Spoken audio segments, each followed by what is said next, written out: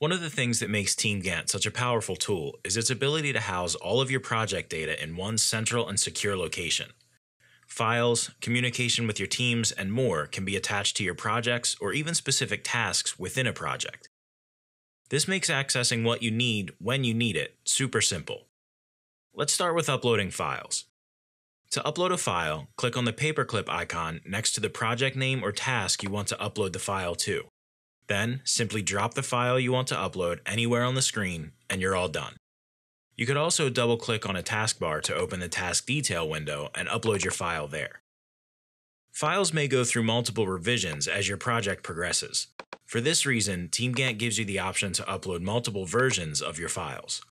Old versions are kept, with the most recently uploaded file being saved as the current version. Team Gantt also offers the ability to keep all of your project and task related communication in one place through the use of comments and sticky notes. Each project and task gets a single sticky note that can be used for general, high level notes.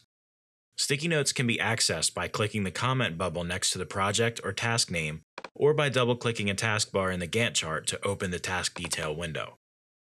You can use comments to keep relevant task or project related communication in one place and accessible by the people who need it.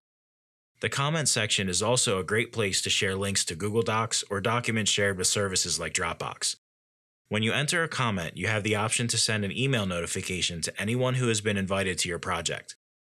If you add a comment to a task that has a person assigned, they are automatically sent an email notification. You can uncheck that notification if you prefer not to send it.